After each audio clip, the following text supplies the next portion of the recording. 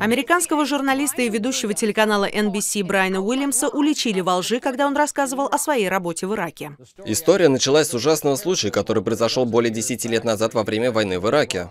Два из четырех наших вертолетов были подбиты с земли, включая тот, в котором находился я. Серьезно? По нам стреляли из РПГ и АК-47.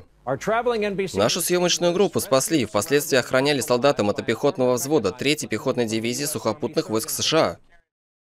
А вот и нет. Ничто так не губит добротный сюжет о войне, как рассказ непосредственного участника. Этот сюжет погубил солдат вооруженных сил США. В Фейсбуке Лэнс Рейнольдс призвал журналиста к ответу.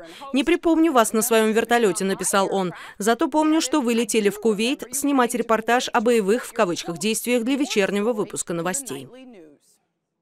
За досадный провал в памяти, каковым его преподнес журналист, хотя непонятно, как кому-то могло показаться, что в его вертолет попала ракета, Уильямс извинился не только в Фейсбуке, но и в прямом эфире.